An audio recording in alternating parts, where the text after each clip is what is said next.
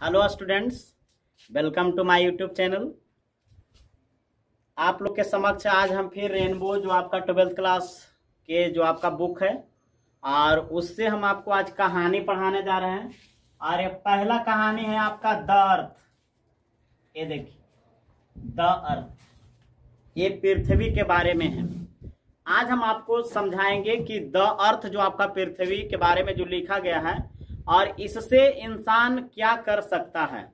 यानी कि भगवान ने हमें एक चीज़ को छोड़ करके सब कुछ एक जैसा दिया है। जैसा कि दो हाथ, दो पैर, आपका बाल, आँख, नाक, शरीर सब कुछ एक जैसा दिया है। लेकिन वो एक चीज़ भिन्न है, वो एक चीज़ आपका अलग है। वो है हमारा क्या चीज़ है? वो है आपका सोच। यानी सोचने का जो तरीका है, वो बिल्कुल अलग है। यानी कोई भी इंसान मतलब जन्म से ही गरीब नहीं होता है, और कोई भी इंसान जन्म से ही अमीर नहीं होता है। सभी लोग, जो भी इंसान आया है इस पृथ्वी पर, सभी लोग गरीब पैदा लेता है। अच्छा गरीब क्यों पैदा लेता है? क्योंकि कोई ऐसा नहीं, अमीर व्यक्ति होगा जो पैदा लिया होगा, और वो जीन्स और टी शर्ट पहन करके आया होगा। जो भी आया है, जो भी जन्म लिया है और वो सभी लोग बिना कपड़ा के पैदा लिया है। तो इसका मतलब जो बिना कपड़ा के पैदा लिया है तो सब आप ही के जैसा हुआ, सब गरीब ही पैदा लिया है। तो उसी प्रकार से मतलब कि जो भी दुनिया में जो भी पैदा ले रहा है लोग, सब गरीब ही पैदा ले रहा है, लेकिन वो अपने चाहे तो अपने मेहनत के दम पर ही क्या कर सकता है? वो अमीर हो सकता है। यानी अपने मेहनत के दम पर, आप भी चाहें तो अपने मेहनत के दम पर आप भी कुछ भी कर सकते हैं, आप इस दुनिया में नाम कर सकते हैं। वैसा कि और ये कहानी आज हम आपको पढ़ाएँगे और इससे हमको सीख मिलेगा। और कि किस रूप में और इस कहानी में ये बताया गया है।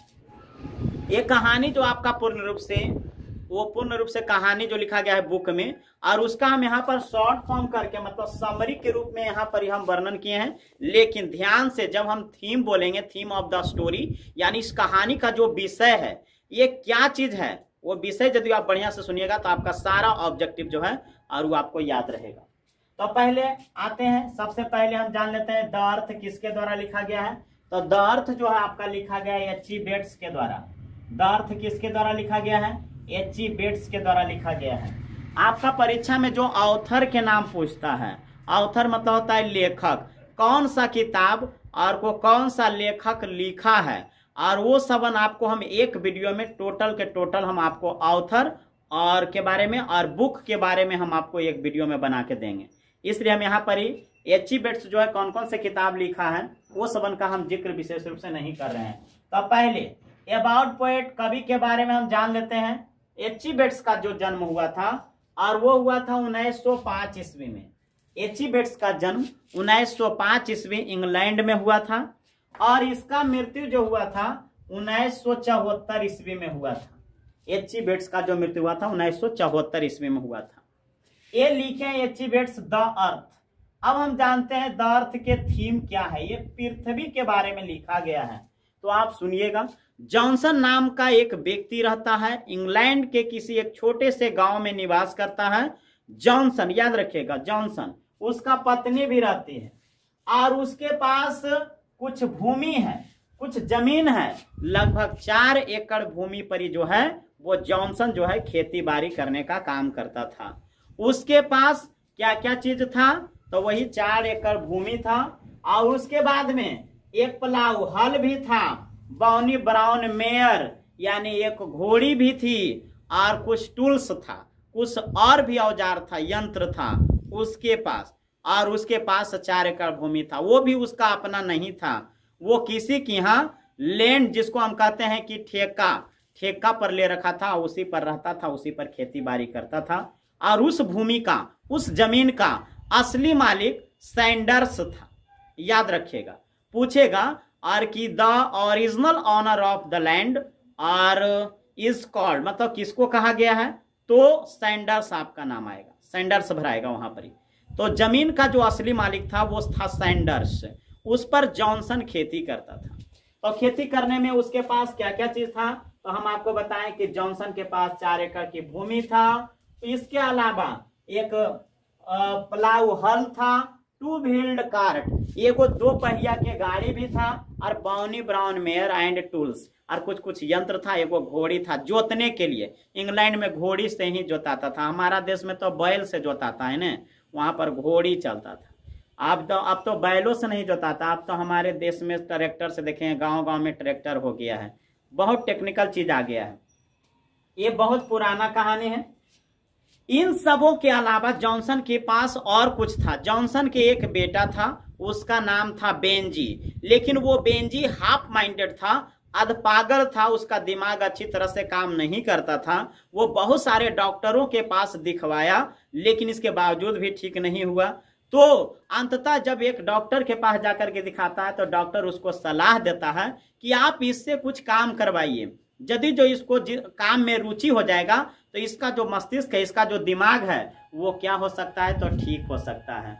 और उसको मुख्य रूप से सलाह दिया कि आपके पास तो ऑलरेडी ज़मीन जायदाद है, आप उस पर खेती बाड़ी करते हैं तो आप इसको खेती बाड़ी करवा सकते हैं। प्लस में और भी बोला कि आपके पास ऑलरेडी मुर्गियाँ भी है। जॉनसन के पास पहले से दस से बारह मुर्गियाँ था। और इसलिए, और वो बोला कि मुर्गी रखने के लिए आप इसको इंटरेस्ट जगाइए। यदि जो इंटरेस्ट जग जाएगा तो ये जो लड़का है, ये ठीक हो सकता है। ये हाफ़ माइंडेड जो है से ठीक हो सकता है। वही जॉनसन करता है बेंजी को ले जा करके घर में, और उससे खेती बाड़ी ना करवा करके मुर्गियों को पालने के लिए कहता है। बेंजी स्कूल जाता है स्कूल से फिर पुनः वापस आता है और मुर्गियों को देख रेख करने लगता है। मुर्गियों को देख रेख करते करते वैसा ही महीना, दो महीना, चार महीना होता है। उसको, उस मुर्गियों को पालने में उसको इंटरेस्ट आ जाता है। यानी उसको रुचि आ जाता है। रुचि जैसी आ जाता है और वही पाँच से दस दस से बीस मुर्गी वो और करने लगता है। जो भी उसका अंडा होता है, उसको बेचता नहीं है। उसका क्या करता है? चूजा बना करके फिर से उसको मुर्गी और मुर्गा बना लेता था बेंजी और उसी करते करते वो स्कूल जाता रहा, आता रहा, और फिर वो सीधे स्कूल जाता था, सीधा स्कूल से आकर के दूसरों लड़के के जैसा बेंजी नहीं था, और कि वो अपना टाइम को और किसी खेलने में बिताता था। बेंजी जो था, बहुत लगनशील, मेहनती था, उसको उस बिज़नेस में इंटरेस्ट हो गया था, और जैसे आता था स्कूल से स्कूल से आने के बाद वो तुरंत मुर्गियों में लग जाता था। उसके लिए घेरा बना करके, तार से जो होता है, उसे बाँध करके घेरा, जिसको सरकम कहते हैं। वो बना करके उसमें मुर्गियों को पालने का काम करता था। जब बेंजी चौदह साल के हो गया, याद रखिएगा, जब बेंजी चौदह साल के हो गया था तो वो स्कूल छोड़ दिया था। याद रखिएगा, पूछेगा कि बेंजी कितना साल में स्कूल छोड़ दिया था? तो चौदह वर्ष की अवस्था में बेंजी जो है स्कूल छोड़ दिया था। उस समय उसके पास जो मुर्गियों की संख्या था, और वो चालीस से पचास मुर्गी हो गया था। किसके पास? बेंजी के पास। याद रखना है। बेंजी जब स्कूल छोड़ा था तो उस समय उसके पास 40 से 50 मुर्गियाँ था। उसी प्रकार से बेंजी जो था, लगनशील होते गया, मेहनत करते गया करते गया। फिर वही 40-50 मुर्गियों से, और जे भी कुछ भी अंडा होता था, यानी सप्ताह में, यानी लगभग औसतन, यानी कि लगभग डेढ़ सौ से दो सौ अंडा अब होने लगा था, पचास मुर्गी था तो। एक सप्ताह में एवरेज औसतन अंडा होता था, डेढ़ सौ से दो सौ अंडा होता था। उसको क्या करता था? जो आपको छोटा टाउन था, उसका बाज़ार था बगल में, और उसको ले जा करके उस अंडा को क्या कर देता था? बेच देता था। उसका जो भी पैसा होता था तो उसका पिताजी जो जॉनसन थे, और उसके नाम से बैंक में मतलब कि खाता खुलवा दिए थे, और उसी के नाम पर जो है पैसा जमा होता था। जमा होते होते और बोला था जॉनसन, और कि जब तुम इक्कीस साल के हो जाओगे तो तुमको वो पासबुक तुमको दे दिया जाएगा और वो तुम्हारा प्रॉपर्टी होगा। वो जो जितना भी पैसा जमा होगा, और वो सारा के सारा तुम्हारा प्रॉपर्टी हो जाएगा। तुम्हारा धन होगा, तुम्हारा संपत्ति हो जाएगा। उसी प्रकार से बेंजी मेहनत करते रहा, उसका नाम से पैसा बैंक में जाता रहा, और ऐसी करते करते क्या हुआ कि उसके पास दो मतलब कि जब इक्कीस साल के बेंजी हो गया तो जॉनसन, उसको स्पीच देकर के भाषण दे करके, ऐसा भाषण देकर के मानो कि किसी को पुरस्कार दिया जा रहा है, कोई बड़ा काम कर लिया है। जॉनसन ज़िंदगी में, और सिर्फ़ खाली खेती बाड़ी करता था, उसके पास ज़्यादा अंधविश्वास था। अंधविश्वास के मतलब क्या हुआ? अंधविश्वास के मतलब वो भगवान के ऊपर, और वो ज़्यादा भरोसा करता था। किसी भी फ़सल को लगाता था और उसको लगता था कि भगवान ये उपजा देगा। आप सोच के देखिए, आप यदि मेहनत नहीं कीजिएगा तो क्या आपको भगवान पास कर देगा? कभी नहीं करेगा।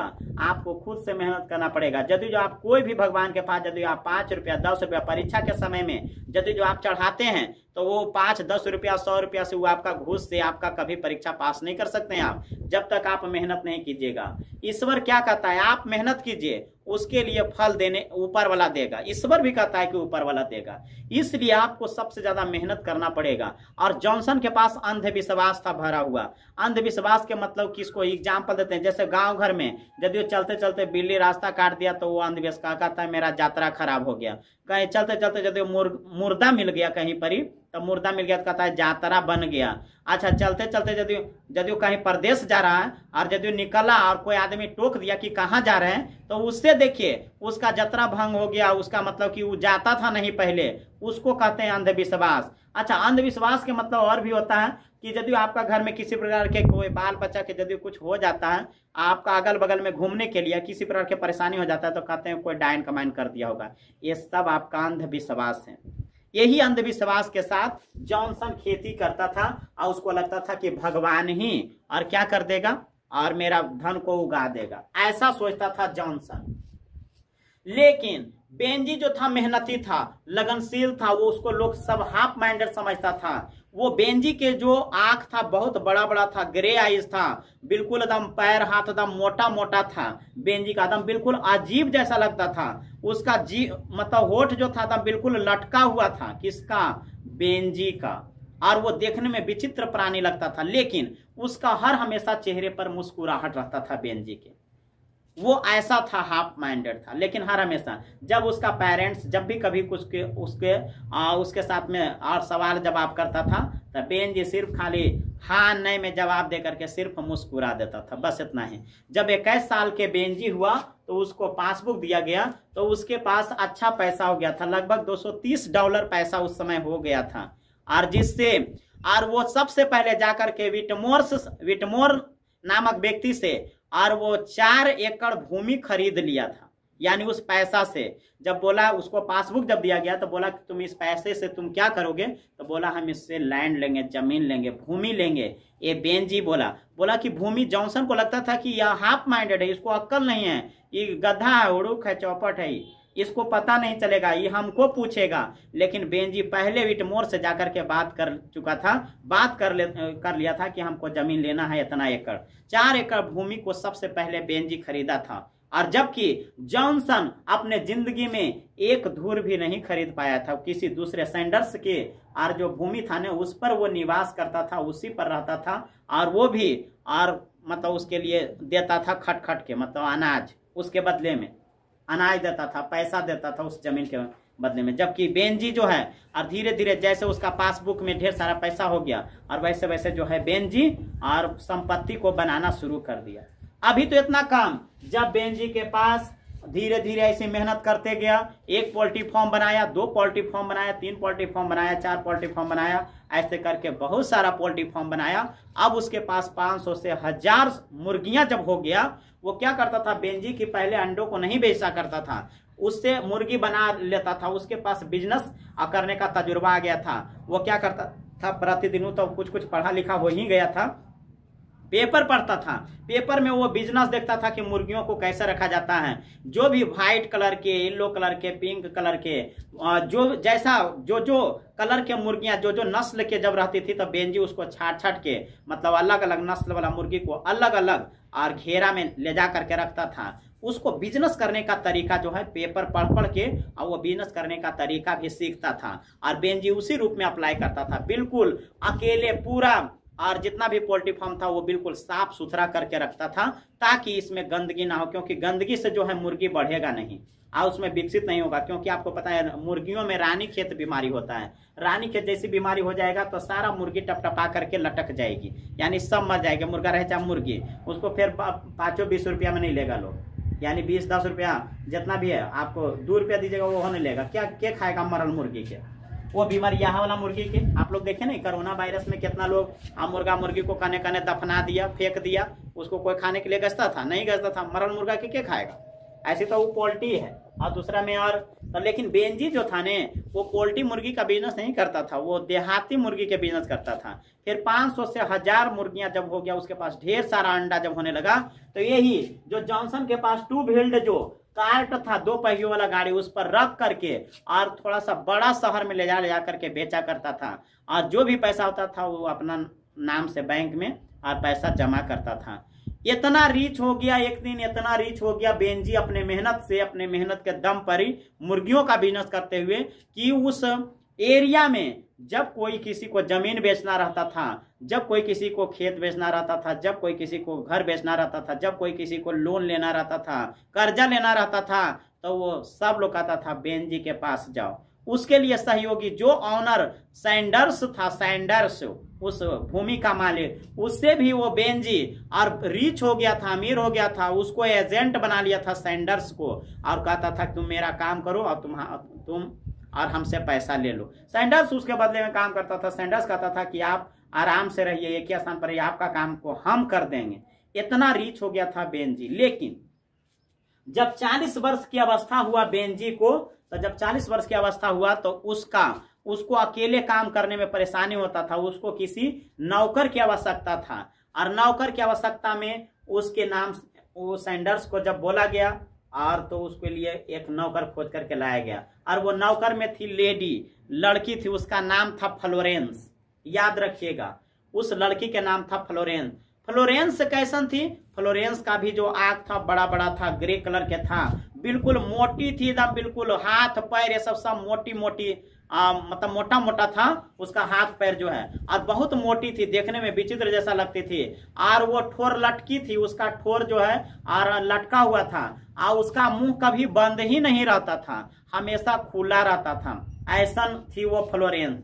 और उसको जब लाया बेंजी नौकर के रूप में तो वो क्या करती थी? झुक करके जब उसका घेरा में और वो बांटती थी मतलब पोल्ट्री फॉर्म में तो बेंजी छुप करके उसको देखता था। जब झुक करके वो बांटती थी ने तो उसका सीना के पास वो निहारता था।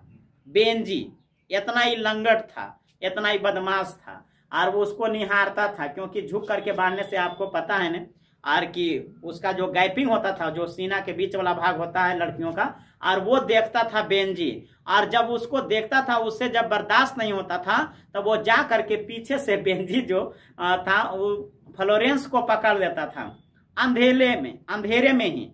और पकड़ करके यार कौची कौची करता था।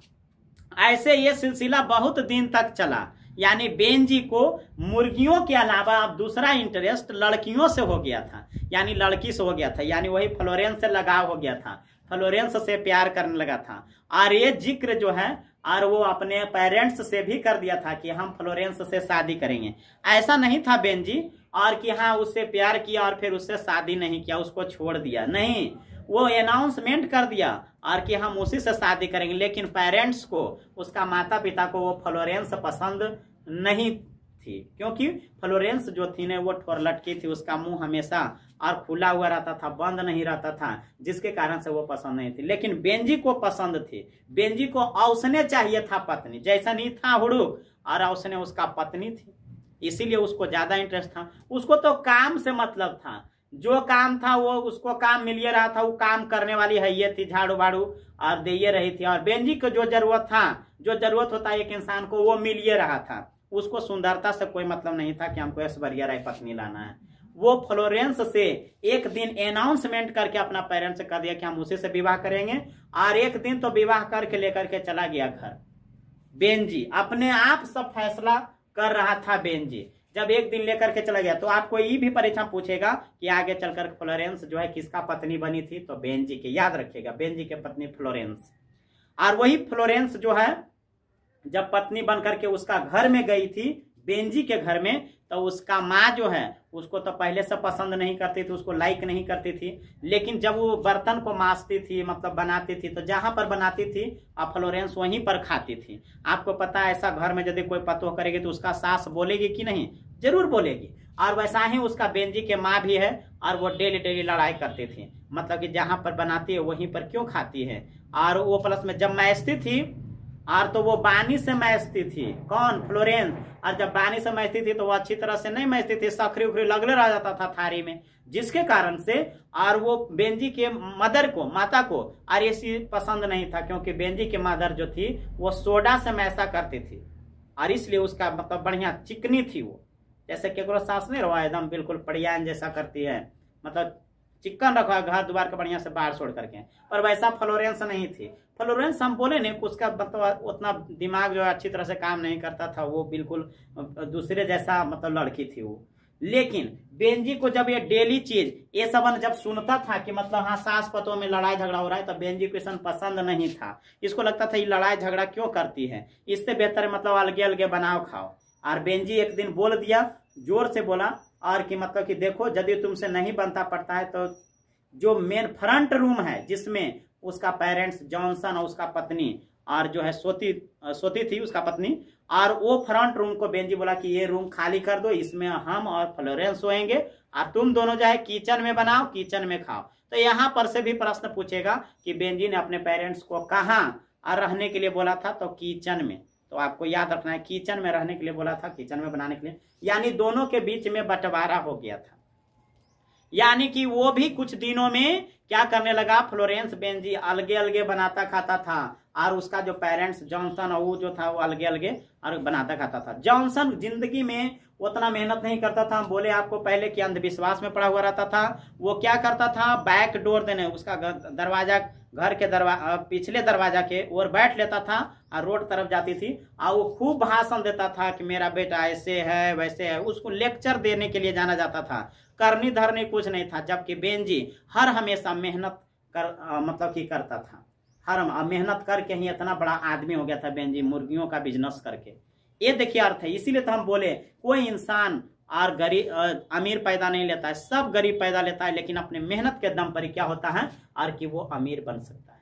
वो अपने मेहनत, वो सबसे बड़ा चीज़ होता है मेहनत। लेकिन जब कुछ दिनों के बाद, जब उसका घर में अलगा अलगी हो गया तो इससे मतलब कि जब बेंजी और जब आता था उसका घर से तो उसका माँ उससे नहीं बोलती थी। जब फ्लोरेंस आती जाती थी तो एक दूसरे को घूरा करता था, सब एक दूसरे को, और बिल्कुल द्वेष भाव से देखता था, बिल्कुल अलग भाव से। और बेंजी को ये चीज़ पसंद नहीं था। एक दिन ऐसा हुआ, मूड हुआ कि बेंजी बोला कि तुम लोग ये घर में मत रहो, और चलो हम तुमको टाउन धर लाएँगे मतलब दूसरा जगह पर तुमको रहना है। और उसका पेरेंट्स बोली कि हमको, हम कहाँ जाएँगे? इतना बड़ा शहर में हम कहाँ पर रहेंगे? तो बल, कहीं पर जाओ। बहुत ज़ोर से डांट करके बेंजी बोला और ये आगे चल करके क्या किया? अपना पेरेंट्स को भी घर से निकाल दिया।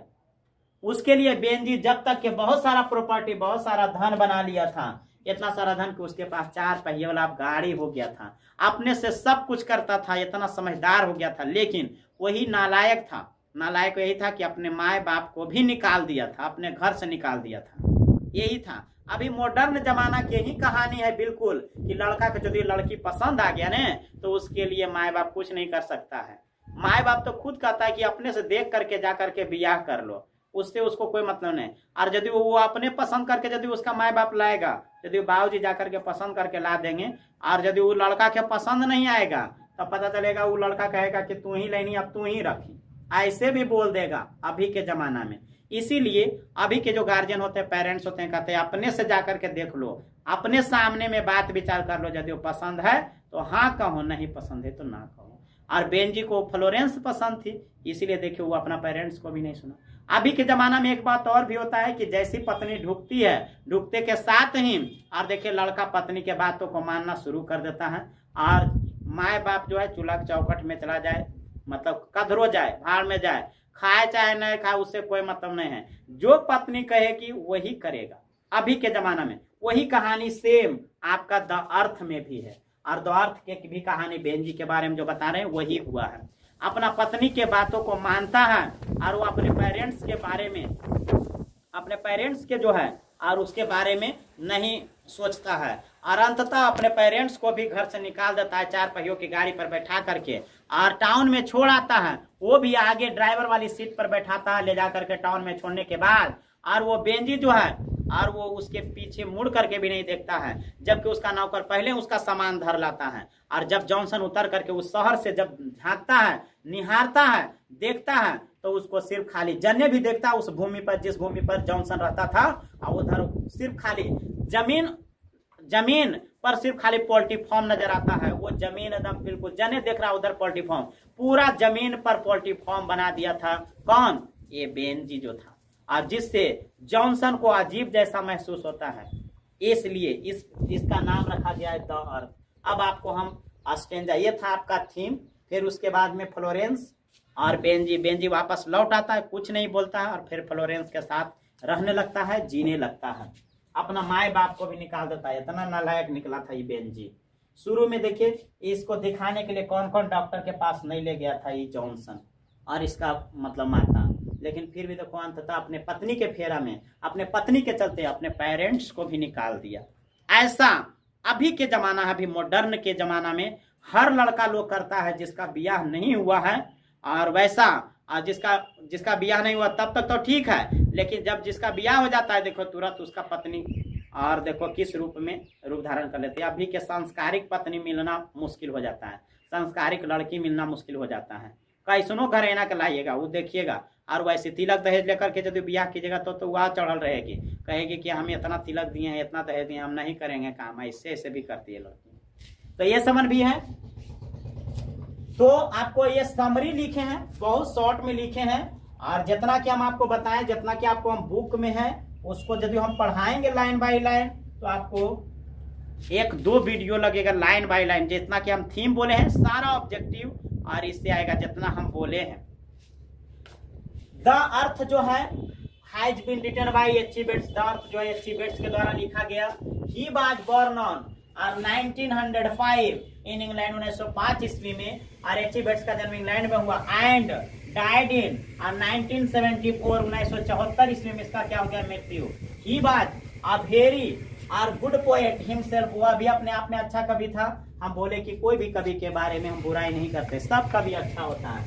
And he has described earth in this story इस स्टोरी में अर्थ के बारे में बताया गया है। ही सेज वह कहता है Johnson had the earth and he had also a plough two wheeled cart tools and bonny brown mare और कहता है and it was true that कहता है ना उसके जॉनसन के पास पृथ्वी है मतलब धरती है, ज़मीन है ही हैड आल्सो प्लाउ एक हल है टू व्हील्ड कार्ट दो पहिए की गाड़ी है टूल्स यंत्र है एंड बॉनी ब्राउन मेयर और कहता है कि बॉनी ब्राउन मेयर है, घोड़ी है and it was true that यह भी सच है that they had also had a son और है नेम्ड बेंजी और उसके पास इसके अलावा और है, और वो है एगो बेटा, नाम है बेंजी और वो हाफ़ माइंडेड है। कहता है Benjy was half minded and और the doctor said let him keep hens and Benjy और बिगेन टू और कीप हेंस एंड क्विक और he began rich after that और ही मैरिड टू फ्लोरेंस कहता है कि जब उसको डॉक्टर से सलाह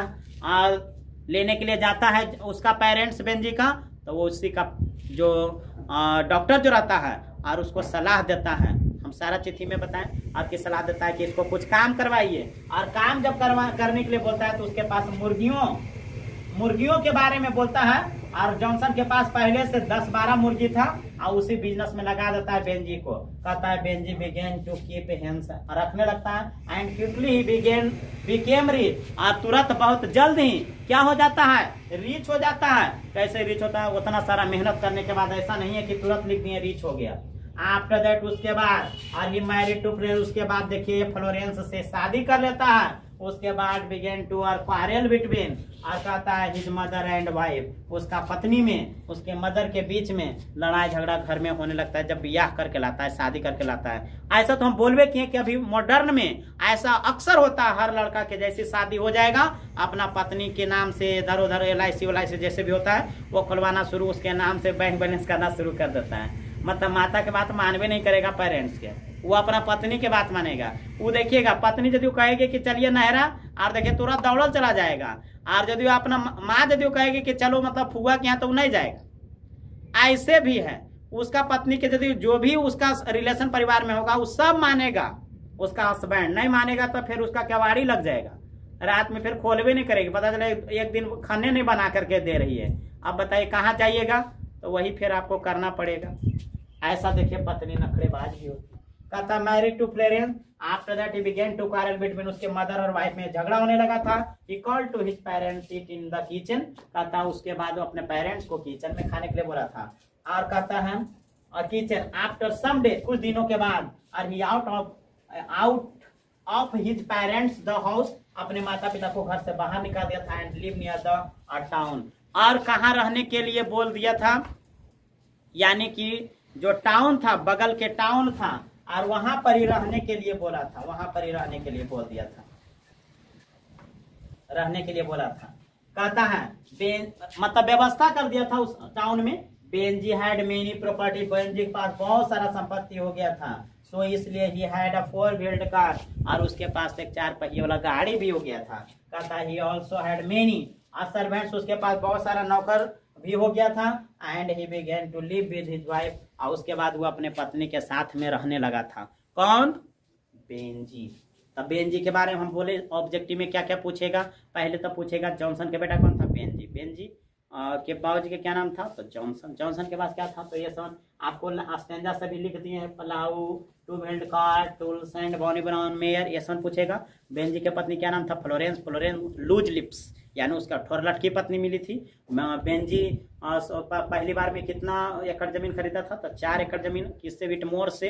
अच्छा उस जिस भूमि पर जॉनसन रह रहा था, उसका असली ऑनर कौन था? तो जिस भूमि पर जॉनसन रह रहा था, उसका असली ऑनर कौन था? तो सैंडर्स था। बेंजी कितना साल में और छोड़ दिया था स्कूल? तो चौदह साल में, जब चौदह साल में छोड़ा था, उसके पास कितना मुर्गियाँ हो गई तो चालीस से पचास मुर्गियाँ। ये सब, और बेंजी को कितना साल में पासबुक दिया गया था? तो इक्कीस साल में जब पासबुक दिया गया था, दो सौ तीस पाउंड उसके पास पैसा हो गया था। तो ये सब देखिए आपका, ये हम बताएँ आपको ऑब्जेक्टिव में। तो इतना आपको हम बताएँ आज द अर्थ में। अब आपका द अर्थ जो है आपका समाप्त हो गया। आप बढ़िया से इसको रिपीट करके हमारे शब्दों को आप बार बार इसको सुनिए। आप भी इस बेंजी के जैसा इस कहानी पर आप भी लागू कीजिए, मेहनत कीजिए, आपका भी जीवन बदल जाएगा। आपको यदि वीडियो अच्छा लगता है, ज़्यादा से ज़्यादा आप पड़ोस अड़ोस वाला के भी पढ़वाइए। लोगों को मतलब कि इधर उधर भी सेंड कर दीजिए। वो भी पढ़ेगा, वो भी सीखेगा। और इतना शॉर्ट में समरी जो हम लिख दें अपने लैंग्वेज में, जिसको आपको हम, आप अपने से पढ़ करके समझ सकते हैं कि क्या लिखा हुआ है ऐसा। बुक वाला जो लिखा हुआ रहता है, वो आपको समझ में नहीं आएगा। ई वाला जैसे आप समरी आज कीजिएगा, तुरंत जल्दी से ना आज भी हो जाएगा, क्योंकि सब समरी में, इतना चीज़ तो हम सब में लिखते आ रहे हैं। पिछला वीडियो में भी देख सकते हैं। आसान है बिल्कुल। इतना बड़का वो कहानी को हम इतना शॉर्ट फॉर्म में आपको हम समझा दें। थैंक यू तो अगले वीडियो में हम मिलेंगे।